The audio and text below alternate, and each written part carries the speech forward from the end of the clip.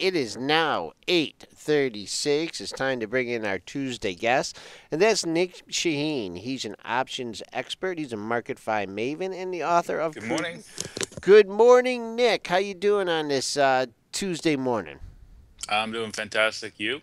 We're doing good. So I, I just we were just talking about the G flash dash yesterday, but uh, I just want to get to you and talk a little bit about uh, sentiment. Uh, you've been having a lot of fun here on Twitter uh, with Apple. The Apple haters, you've been buying the stock, you've been taking a position, and they have just been coming at you real hard here. You know, talk about the setup that you saw, how you played it, and how you deal with all that Twitter hate. Well, uh, it, it, I do this, uh, you know, they, they say don't trade uh, with your emotions. Uh, I, I trade with other people's emotions and a few things. Uh, gold is one, Apple is the other. And um, when it was approaching 700 pre split, uh, everybody loved it. And then suddenly everybody hated it all the way down to people even saying it was going down to 300 or 280 i think was the lowest call i saw at the time. And i said okay enough people hate it here that i actually like it. And i went long it via big credit put spreads and it paid. And now that it's traced um, what 30% back from its highs mm-hmm. or maybe a little bit more at its low. And uh, people still hate it and make fun of it and they think it's going to zero pretty much. So maybe it's time to go long and i did I took credit put spreads that are out in time. Well, you know, we have a lot of uncertainties here. We, we have a lot of question marks, China this, oil that. But there are a few things that I, I, know with a certain, you know, with a good degree of certainty. And one of which is Apple won't be 75 in the next few months without a major disaster in the market completely or a major disaster in it, which can happen at any point in time. And there's no one imminent.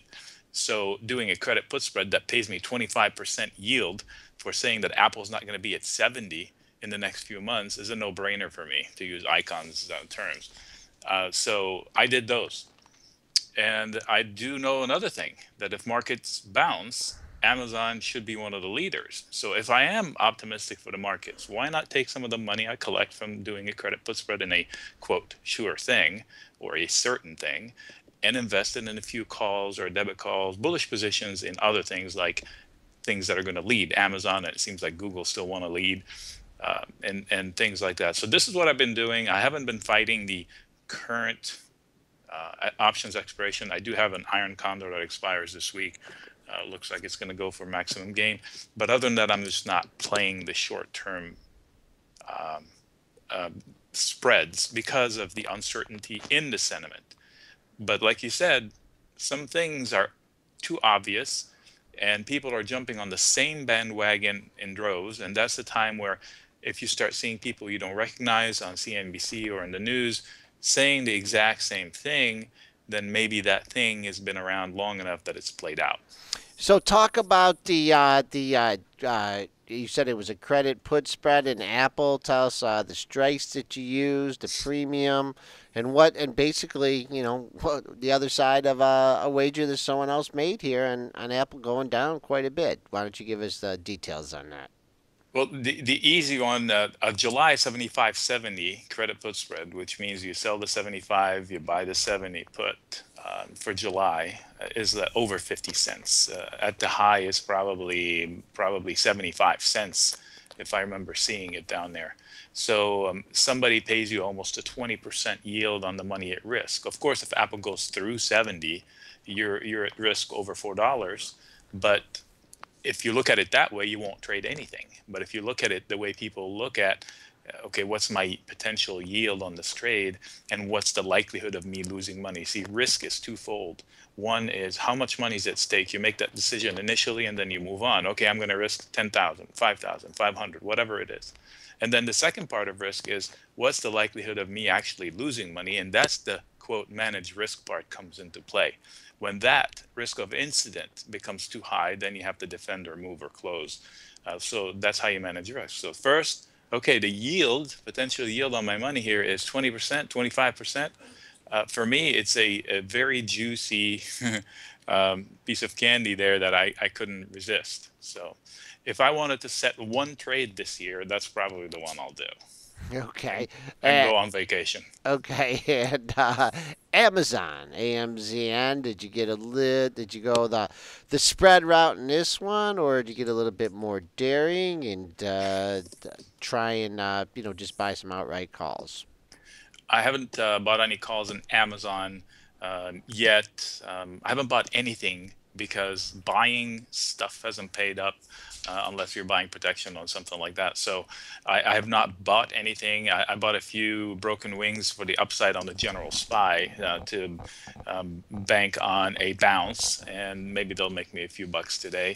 But um, what a broken wing is a bullish position, kind of like a, uh, a butterfly, a call fly, only where you span uh, you space out the um, the distances a little differently, so it's easier to monetize for me. I don't like the regular flies; they're hard to monetize. So, where you, you buy a call, you sell two higher, and then you buy one above that. So the maximum loss is the money you spend up front, but it's a leverage profit uh, scenario. So if price moves your way, then you make you know four or five times the uh, money invested in it. Uh, but I have not bought any specific in Amazon. But if you are bullish the market, then why would Amazon fall? Uh, Jeff Bezos uh, seems to be hitting on all cylinders. I mean, uh, I think that Netflix is going to suffer greatly from the Amazon wins. Um, you saw it yesterday; they won a couple of awards. That's their third, and Netflix, I think, have yet to win anything, and uh, they haven't been at it long. And before you know it, he's going to be uh, cutting into Netflix's P&L. I have no doubt about that.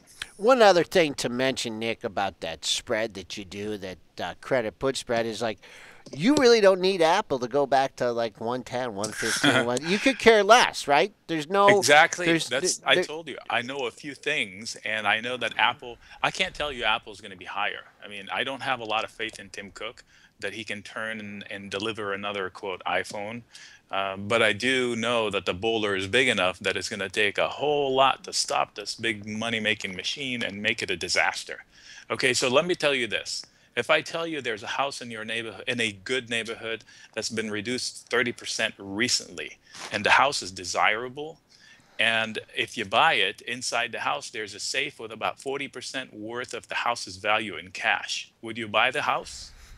I've, I've been looking. Yeah, I would for sure. I- My argument. I'd buy it, no s- uh, sight unseen. I'd say sold to me. That's what's Apple. It's got forty dollars, yes, pre pre tax, in in cash, worth, and it's about a hundred, under a hundred, so it's over forty percent um, as far as cash. Cut it in half, twenty percent. It's still an attractive proposition. Nic, I just want to go back to you know your strategy overall, and you've said this before. You like boring, you know, you like to just sit back and obviously, you know, you set up these scenarios where it probably is not going to happen, and obviously then you write, you know, your credit put spread on those scenarios. So, and I'm a big fan of boring as well. And We have, you know, a, a, on the chat here, they're talking about, you know, how stocks like a Bank America, GE. I know these aren't really your style, but they're boring stocks to trade but boring and uh, you know is, is more predictable to me. And why i like you know trading stocks like general electric or even you know procter and gamble or bank america or exxonmobil or some of these big s&p components is that they're liquid. I can get in and out of them easily.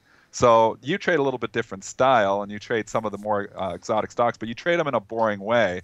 Just to expand you know on why you know you don't maybe get down and dirty in some of the really crazy stocks Be, because uh, the premiums don't allow me to do it. I have really good visibility on Bank of America and those stocks because they are heavily traded and liquid, but uh, I haven't developed a knack for it. It's easier for me to find a range that's quote safe in credit spreads. Safe in credit spreads, I want to find a range where people are not going to take the price and sell the risk there. I basically want to sell insurance to somebody driving in the desert, not downtown New York City. So and it's um, it's hard for me to do it on a lower dollar stock where where Yeah. the premiums are too close together. I'm not one to sweat the expiration. If you know where the pin is on Bank of America, and we can get it pretty close, you can sweat it into the expiration by selling uh, some sort of an iron fly there or something like that. But that's not my game. I'd rather sleep well and deep, and and the, the only way I can do it is to find lottery tickets that are not likely to hit and sell people those lottery tickets, like you once said, and and uh, not worry about it. If I can deliver a 20% plus year, doing this stuff. Why on earth would I want to chase prices? Well, let's jump into a couple analysis of some of these uh, other stocks as well. We've seen Twitter seems to go down every single day. It's now under twenty dollars and nineteen sixty five. It's getting a little bounce here in the pre-market, nineteen ninety eight, but just seems like every time this thing bounces 30, 40 cents, it's met with more sellers here again. Uh, same type of trade. GoPro has just been straight down here in 2016. Had the good first day, and then since then it's been straight down. Fitbit's been straight down here too. Really ugly 2016, really from $30 all the way down to $18. Some of these stocks were loved for a while and they've been hated here for a while. When do you think this trade starts to reverse? When are these stocks cheap enough that they're oversold and you can come in here and safely try to pick bottoms? I think people chase them. Let's use GoPro as an example because sure. it was a really good extreme, um, and Twitter for that matter. They chased them for uh, and nothing happened. Too much time went between the chase and nothing happening to where like people gave up on it. I lost some money on some calls in Twitter because I had a hunch and the hunch hasn't paid out. Well, it has a few days, so unless they announce uh, in the next couple of days that they have an acquisition of sort, uh, that uh, lottery ticket is gone. I may re-up because I believe in the platform, not in management. In fact, I believe so poorly in the management that they're going to be forced into doing something or disappear as far as price is concerned. So I may re up the calls on Twitter, but it's a complete lottery ticket, money thrown down the tube, just like when you buy a lottery ticket. You spend a few bucks and you don't say, oh, I need to return it. You just buy it and forget it. If it hits, it hits. It doesn't, you lose your money. Okay, Nic, uh, let's take a look at uh, just the overall market here as well. Uh, pretty good sell off over the last few days, getting a little bit of a, a pop up here. I mean, geez, I mean, chasing the S and P's up 19 handles. I mean, it's a you know it's a tough strategy. You think uh, think we might take another pullback here, maybe get it back in the lower 1900s uh, before we uh, continue to move higher. Um, all along, we've had support and the support lines have been you know last week there were a few people hoping for 1925 in the as far as the open interest in the SPX and they got paid handsomely because we went down there obviously. Uh, we still have support where we are a little bit below and we have magnets at 2000 not not meaning that we're going to get there but it's a pretty strong magnet. It will be resistive if we get there. Uh, there are some uh, upward pressure points 1925 uh, 1950 uh, is another, 45-ish is another SPX I'm speaking. Uh, there's another one about 1973-ish. Uh, these are upward pressure points to help the magnet at 2000. Uh, so based on the open interest, we need to be closer to 2000 than 1900 this week. And uh, if you, if I had credit put spreads, which I do for expiring this week, um, there the upper end is at 21 oh my gosh i can't even remember how high it was. 2140 i think. Uh, so obviously those will expire for maximum gain for me which was a bearish position but i also had a credit put spread in the 1870 area 65 and that will expire for maximum gain hopefully. Uh, i did protect it a little bit but out in time so i can sell the protection today or tomorrow if i don't need it anymore. But uh, yeah we need to be closer to 2000 based on the open interest than 1900 Nic, what about oil? Oil goes down yeah. every single day. We're finally getting a little bit of a lift here today. I mean, I was lower this morning early on trade. We were trying to get in breaching, getting close to that $30 level there. We've bounced here now, but is this just a dead cat bounce or is there a sustainable rally here eventually? I mean, I don't think anybody thought oil was going to go down seven straight days to start basically 2017 or 2016. I bought USO calls on a hunch that hasn't paid out yet. It still has time on the clock. Uh, it was a February 12th, I believe, expiration. But um, I added a few lottery tickets yesterday on the low. I joked that I was going to buy puts and that would mark the bottom in, in oil, but um, it, it, it's a rigged game. fundamentally, fundamentally, it should be probably higher but who's to say that the 100 wasn't a rigged game also? And they were fleecing us for the, for a few years. And now uh, it's how long are they going to withstand the pain in the opec countries as far as funding their own social um, calendar social um, budget?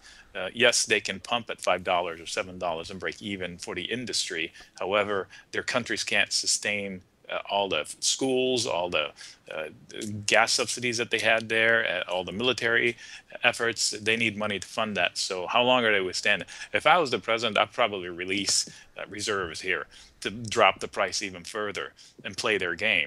But I'm not. So that's a good thing, probably.